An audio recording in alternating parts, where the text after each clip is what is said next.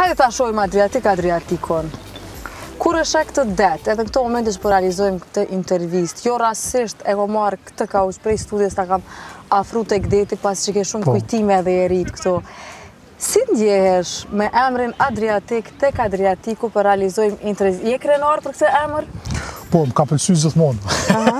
Tash s'di njerëz tjerë krejtve u pëlqejnë emrat, po besoj se edhe m'u ka përshtatë edhe si karakter edhe si... Se jam shumë i lidhun natyrisht me detin, unë edhe skijoj, po prap, gjatë verës, me m'lanë n'det, kisha me qëndru gjatë gjithë kohës, planifikoj ndonjëherë kur dal n'pension me jetu n'ndonjë vend ku ka det, me lexu, me shkru poezi. Okay.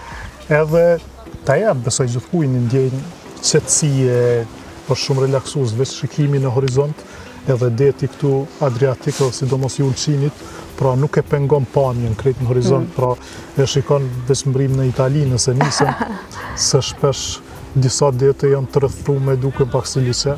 A ke peshku ndonjëherë? Është i pafund, po. Ke peshku? Pëlqen peshkimi?